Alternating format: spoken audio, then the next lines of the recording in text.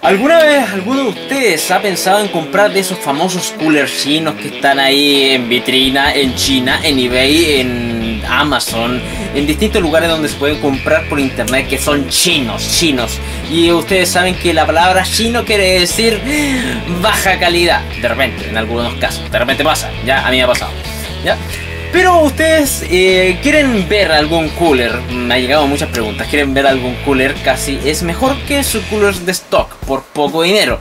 Y en este caso, yo encargué un cooler chino de la marca Deadcool, Deadcool, pero chino, miren, está todo en chino también, ya, o sea, esto es directamente chino. Esto, de hecho, esta clase de cooler solamente las venden por eBay, Alibaba, todo ese tipo de cosas así.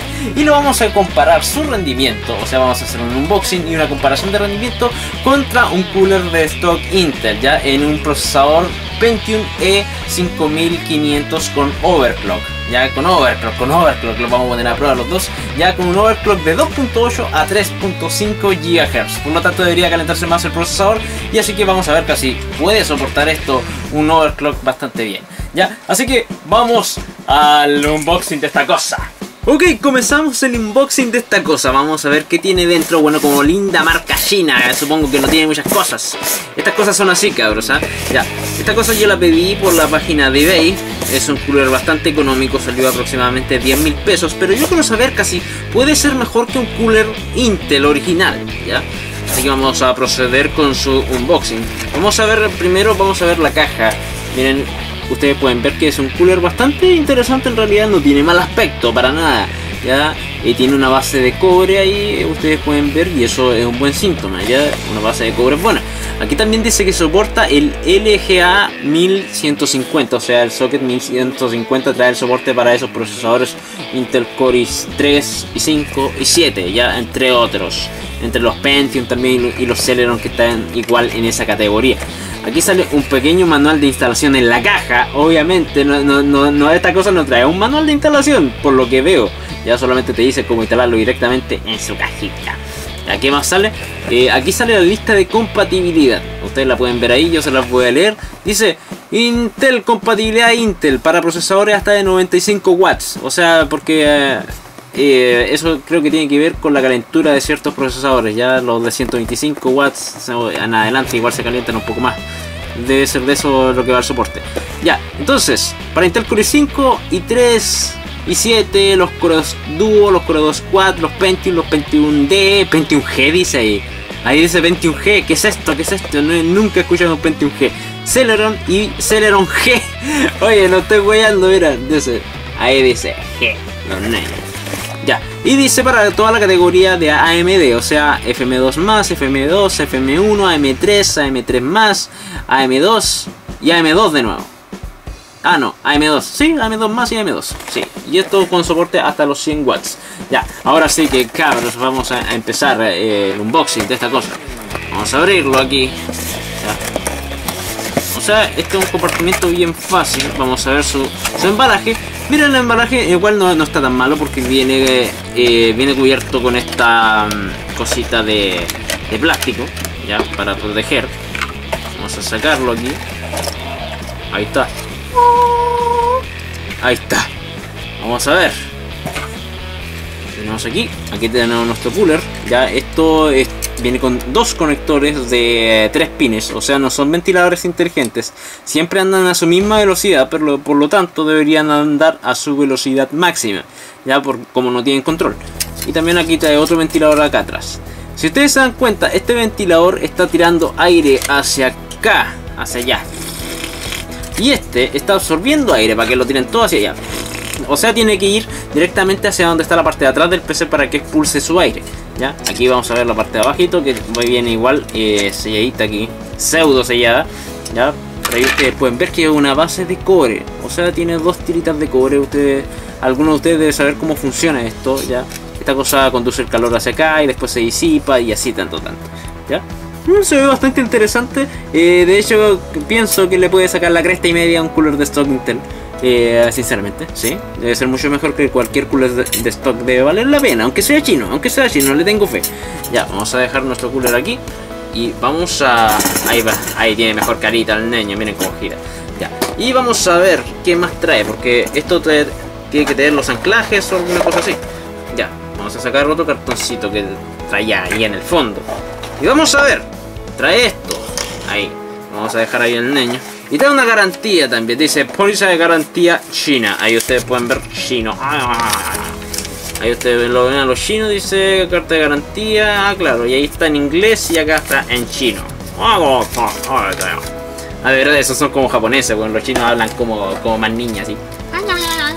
Ya, aquí, eh, aquí, aquí es donde trae los, estos aditamentos que ustedes los pueden ver. Esta es la base, esta es la base. Esta base sirve para eh, la plataforma Intel que les nombré, ¿ya? Esta base sirve para eso exactamente. Y esto les voy a mostrar cómo se instala, ¿ya?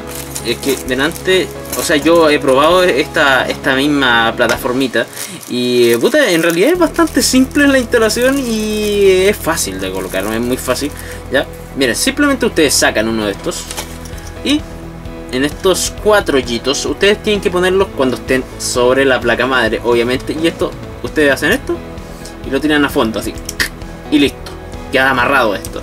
Y como ustedes pueden ver aquí hay unas muescas a los lados, no sé si las ven ahí, Esa- esas mierdillas, eso se atasca, se atasca directamente aquí abajo, ahí, ahí, ¿ya? Pero en el caso de AMD se instala directamente porque ustedes saben que AMD es por estas palanquitas, al igual que todos los procesadores AMD, ¿ya? Es como incluso esta cosa les sirve para adiestrar cualquier ventilador AMD a una plataforma Intel. De verdad, eso no lo había pensado antes, pero eh, son interesantes. Le voy a sacar esta cosita aquí que le puse. Y eso nomás trae, pues cabros. Ustedes pueden ver que es muy simple. Y vayaré esta weá a la bolsa. Ustedes pueden ver que es muy simple eh, cómo está todo aquí. Trae lo justo y necesario y nada más. Nada más. El manual mismo viene en la caja. Y, y- todo así, y todo así. Así que, ¿qué les parece si vemos una prueba de, rendimiento del Deadpool? Ya cabros, aquí estamos haciendo una prueba del Deadpool. eh, Estamos haciendo primero, sí, la prueba del Deadpool. Eh, aquí eh, mostrando aquí en pantalla, estamos haciendo un, un test de 10 minutos. Ya recuerden que estamos con un procesador de, eh, con un procesador en overclock, Y lo estamos monitoreando con el programa AIDA 64 y con el HW, no me acuerdo cuál era el nombre, pero por ahí lo tenía, ¿ya? Eh, pero eran, ambos eran controles de temperatura y todo eso. Y eso nos muestra cuál es la temperatura máxima, el mínimo y el average que puede alcanzar en temperatura esto. Con el Color Deadpool, eh, esto alcanzó con una temperatura de 53 grados en average. O sea, eso es lo normal que se mantiene trabajando a full carga el procesador. A full carga y con, overclock. Imagínense eso, a full carga y con overclock hace 10 minutos. ¿Ya? Por 10 minutos así constantes. Lo mínimo que alcanzó fueron los 41 grados, que cosa que es bastante buena, y lo máximo 57 grados. O sea, el Deadpool igual se mantiene bien, porque recuerden cabros, estamos haciendo un, un overclock en un procesador, ya son prácticamente 600 MHz más de potencia, y el, este Cooler Deadpool se mantiene bastante bien, en realidad no me lo esperaba. Ya, sí, está bastante bien. Y el cooler de stock, vamos a ver cómo se defiende el cooler de stock en los 10 minutos de evaluación. En el average tiene 58 grados Celsius en el average, ya se mantiene eh, un poco más que el Deadpool, creo que son como 5 grados más. Eh, lo mínimo son 41 grados.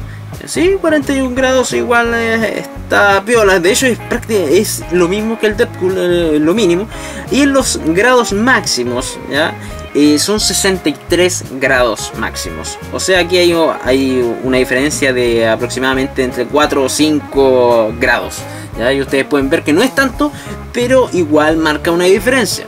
Así que aquí está la pregunta para ustedes. ¿Ustedes se comprarían un cooler Deadpool ya para compararlo con su cooler de Intel?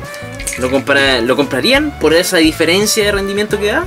Yo puede ser que sí. Bueno, en realidad es bastante barato. Está con envío gratuito en páginas chinas de eBay y cosas así.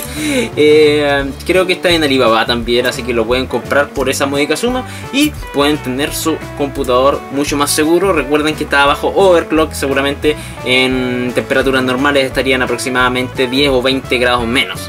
Así que cabros, sí, puede que se los recomiende. Así que, cabros, hasta aquí llega este video. Espero que les haya gustado y nos vemos en el siguiente video. Chao, pescado.